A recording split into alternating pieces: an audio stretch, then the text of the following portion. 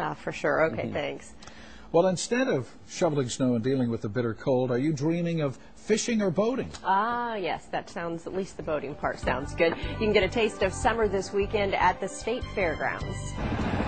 And definitely the place to be thinking about summer, especially if you're the outdoorsy type. I'm Stephanie Soviar, and coming up, we'll show you some things you can do to have fun in warm weather.